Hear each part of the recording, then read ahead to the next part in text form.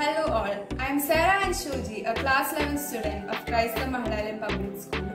Chemistry is a science that deals with the composition, structure and properties of substances and with the changes that they undergo.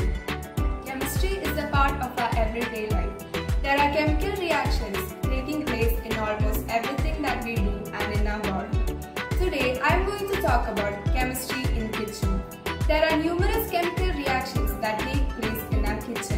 while preparing for food, cooking and even while washing.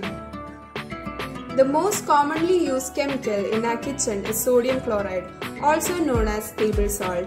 It is an ionic compound with the chemical formula NaCl. It is commonly used as a condiment and food preservative. Have you ever wondered why we cry while cutting onions? Yes friends, there is chemistry behind it.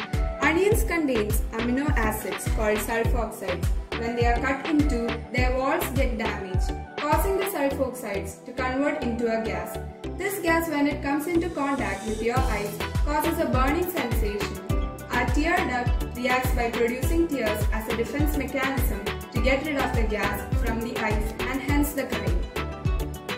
My mother had cut apples earlier and look at it now. They are turned brown. The reason is oxidation. It happens when an atom or compound loses one or more electrons. When the soft insides of fruits are exposed to oxygen in the air, they become oxidized, causing them to break down and turn brown. Do you like pickles? I love all kinds of pickles. Pickling is the process of preserving edible products in acid solution, usually vinegar or in salt solution. In chemical pickling, the food is placed in an edible liquid and that, that inhibits or kills bacteria and other microorganisms. In fermentation pickling, the food itself produces the preservation agent, typically by a process that produces lactic acid.